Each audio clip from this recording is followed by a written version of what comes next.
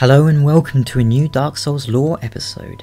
My name is Alex, or Silvermont, and today we're going to be continuing our talk on the Lost Crowns trilogy.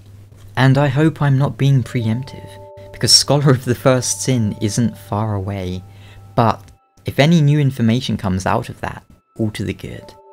Last time we spoke about Shulva, the Sunken City, and this time we're going to be covering the Old Iron King and his Brume Tower.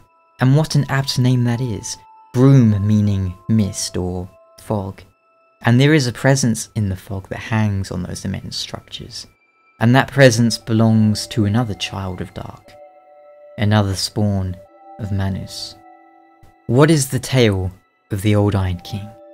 Unique amongst the Lost Crowns, we knew a little about the Iron King before it was ever even announced. We even defeated the old Iron King in the base game to obtain a Lord Soul.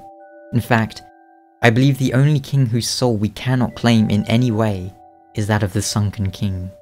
But, let's review what we know about the old Iron King, shall we? A lord of little consequence, the Iron King could have been a duke or baron owing his allegiance to the kingdom of Ven. But whoever he was doesn't matter in the end. What matters is what he did and who he became.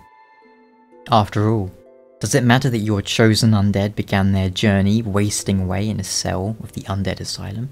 No. What matters is that your chosen undead eventually linked the fire, or became the Dark Lord.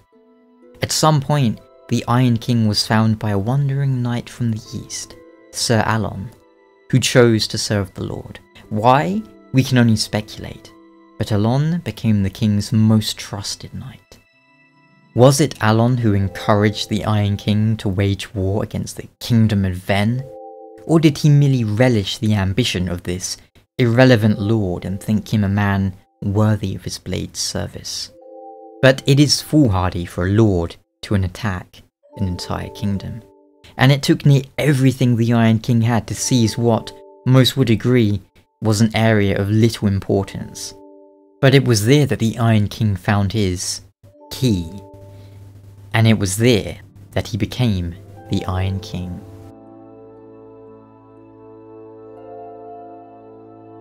It seems the Scorching Iron Scepter was the key to the king's power over iron. Might there be a connection between that and the ability that Vendrick stole from the giants that seems to involve the golems?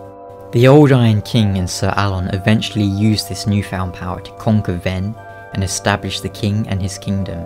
But then, at the height of his power, Alonne left. To honour the knight, the king bestowed his name upon his greatest knights, the Alonne Knights.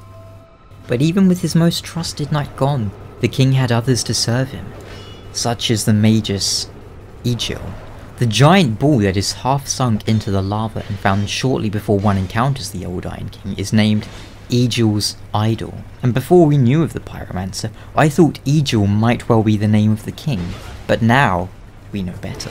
Egil created the Dance of Fire and Fire Snake pyromancies, and Fire Snake well demonstrates his love of fire, and how he wished to grant it a will of its own. So we have an Iron King and a potentially crazed pyromancer. And when has a combination like that ever ended well? The circumstances bring to mind a similar crazed king and his fire-obsessed pyromancer. Both kings, whether mad or not, were struck down in one blow. One by a Golden Kingslayer, the other by a demon.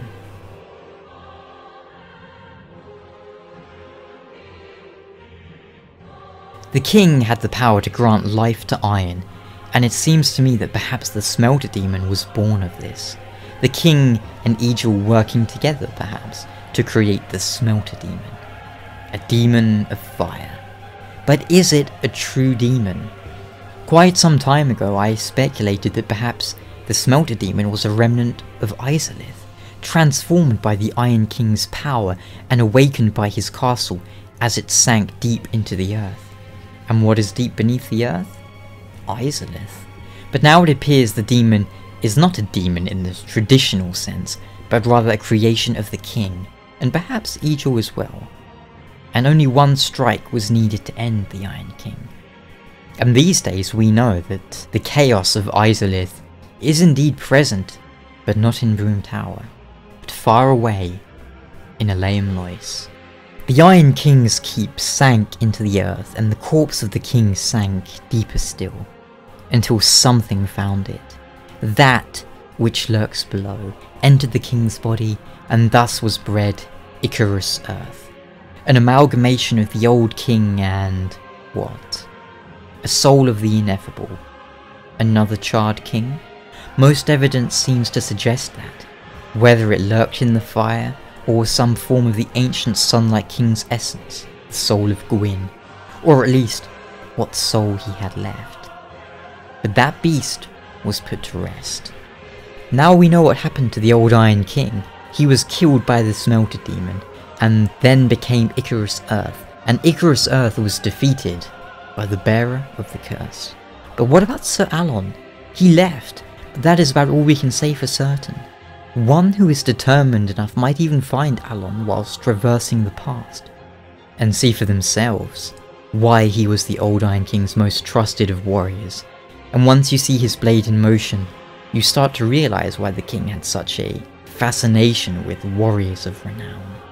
The king's influence reached beyond Brume Tower and the Iron Keep. The Huntsman's Copse was the Old Iron King's hunting ground, only his game happened to be the undead themselves. There is quite a bit we could talk about there, but perhaps we'll leave that for another time, as this video is more specifically about Brume Tower. And what happened to that tower? Sometime after the Iron King's demise, a most peculiar guest arrived. Nadalia, a fragment of Manus.